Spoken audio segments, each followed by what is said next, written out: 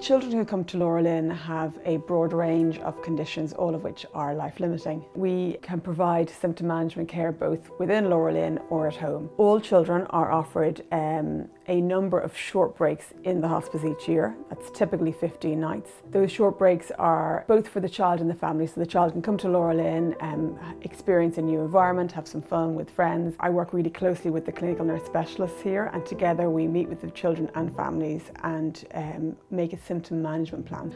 And then we have that symptom management plan on our system here in the hospice and families are able to ring in at any time, speak to one of the staff nurses on duty who can go through the symptom management plan, discuss the child's presentation and maybe give the family some advice about how they may best approach the symptoms at the time.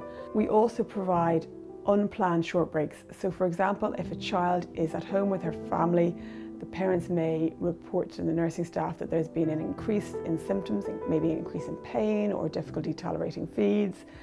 Then um, we can arrange for that child to come into LauraLynn for a period of time when we can spend 24 hours a day for a few days really assessing their symptoms. And we get the whole team to look at the child, meet the family and think together about how we can best manage their symptoms. Our LauraLynn at Home team provide hands-on nursing care to the child um, in the family home. So we have a weekly uh, team meeting. This is attended by members of the multidisciplinary team, so the medical team, nursing and allied health professionals.